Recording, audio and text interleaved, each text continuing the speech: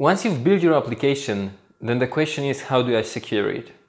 That's not the best question to ask at this point because you were supposed to secure it during development. But let's assume that the damage is done, that you've already built your application and now you want to test it somehow. And how do you go about it? So we have a couple of concepts, but the most important ones that I guess you are likely to expose yourself in the next couple of months are things such as penetration testings, uh, vulnerability assessments, and bug bounties. So let me start with saying that bug bounty programs have immense value for all businesses, but this isn't the thing that you should go after as a first security engagement. This is something for security mature companies that created a lot of stuff internally, that conducted a lot of penetration tests, security tests, uh, have internal security teams, then they can outsource the security testing to bug bounty platforms. But beyond that, and going step backwards, when you have the application ready, you shouldn't also jump on penetration tests.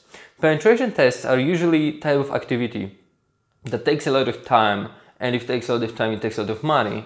And you hire external penetration testers who receive your application and test your application like hackers would, let's say.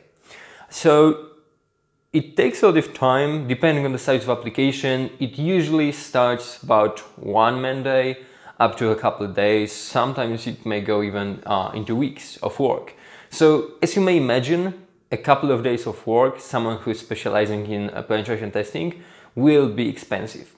So when you have built your application and you want to verify the basics of basics and to see what are the holes in your application, you should rather go with something that we call vulnerability assessment. So it's not penetration testing per se, but it's often done by penetration testers. So you have this knowledge base, you have those people with huge know-how, you have those people who know how to conduct penetration tests, but you don't want to have them spend a lot of time on sophisticated penetration tests because probably you uh, wouldn't be able to handle them anyways uh, if this is your first initiative with security. And those penetration testers will have the knowledge, they have the know-how, they know how penetration tests are performed, but now you ask them to perform vulnerability assessments. It may be a different team, it may be the same team. In TestArmy we have penetration testers, um, professional penetration testers also performing vulnerability assessment to give this additional value to our customer. So when they perform vulnerability assessment, they usually run a lot of automated tools to see what are the main issues in your application. So they test for vulnerabilities such as cross-site scripting attacks, they test for SQL injections, remote code executions, um, HTTP uh, headers misconfigurations, a bunch of other issues related to authorization and authentication. They also dig into application and perform um, security assessment of the application, trying to find as many vulnerabilities as they can to then, to then later compile them into one document and instead of providing you only the list of vulnerabilities that have been identified, they also point you the direction you should follow in order to keep your applications more secure.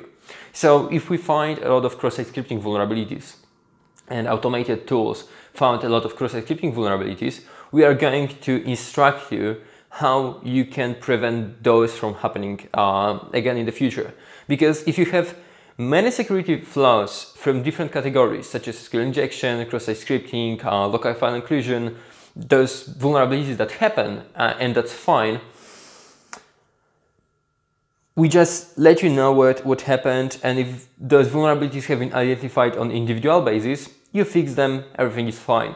However, if we notice that the most common vulnerability in your application are SQL injection vulnerabilities, then it means something is a bit off in your software development processes and we are going to help you uh, figure it out and build a framework that's going to prevent those issues from happening in the first place.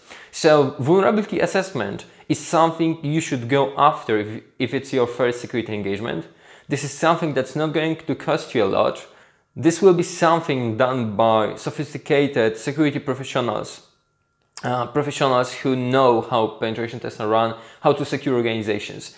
Uh, but to save time, they will use a lot of automated tools, but not only that. They also perform some uh, manual testing security assessment and also obviously they will verify those issues identified by automated systems to make sure we are not wasting your time with false positives. So there is a, bunch of things you can do to secure organization. One of the most important ones obviously is making sure that your software development practices are fine and in place and we can help you with that. However, don't go after penetration test if you haven't done vulnerability assessment before uh, because it may, it usually results in a waste of money and time and a lot of friction when we drop a lot of uh, bugs on your head. So my advice to you is go after vulnerability assessment, do it a couple of times, reiterate until there are no issues identified by automated systems and basic security checkups.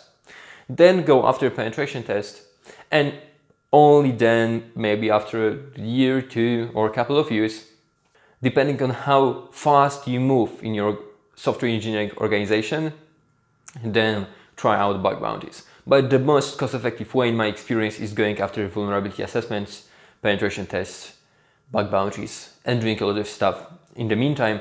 But buying vulnerability assessment services and penetration testing services will also help you to improve your internal processes because we are not here just to point out mistakes, but also to guide you through the process of fixing them. I guess that's it for today. Uh, thank you for attention. I appreciate that. In the next video, I'm going to help you with a list of steps that you should follow in order to maximize the outcome of penetration tests, bug bounties, vulnerability assessments. So whatever you decide to choose, I will give you a list of items that you should implement in your collaboration between external companies to make sure that you get the highest return of investment possible. So that's it. Stay tuned for more content. And in case of any questions, you can always reach us out via YouTube comments.